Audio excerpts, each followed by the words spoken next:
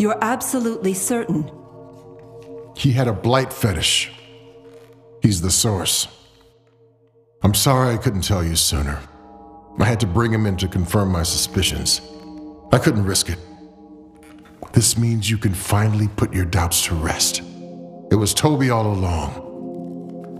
And where is Toby now? If you are correct, and he's the source of the withering, he needs to be kept on a tight leash. He should be here, under guard. I have Krista keeping an eye on him. But you know just as I do that severing requires a willing heart. Toby has to come to us on his own, which is why I need you to do something else for me. A willing heart must be free from attachment. And I worry Toby and Eric's friendship could become a problem. They've been friends a long time. All the way back to the steel mill days. And you're his wife. He trusts you. Rachel, look at me. Nothing else is more important right now. Stopping the withering is why the Foundation exists. Xavier's right. Do whatever it takes. Tell Eric that Toby did something unforgivable or give him an ultimatum. An ultimatum? Toby or you. You would have me risk my marriage for this? Whatever it takes.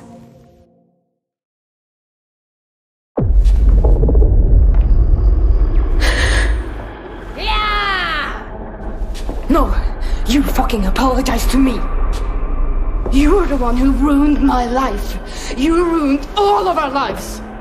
I'm sorry I ever had such a worthless, cowardly, indignant little brat for a daughter. I should have strangled you in your crib and saved myself the trouble! Oh, God!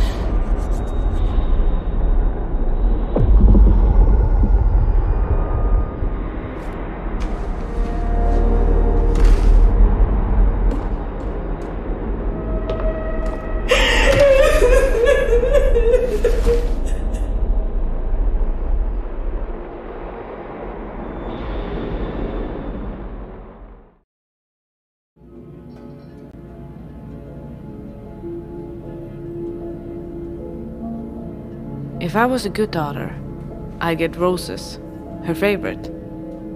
But the cheapest option is lilies. She hated lilies. My dad would be furious. Seems like a tedious detail with so much else going on. Why not let Orson pick? Funerals are for the living, after all. You still look tense. Did you take that pill I gave you? No. I didn't think it was necessary. I really think it would have helped you. Well, I work in pharmaceuticals.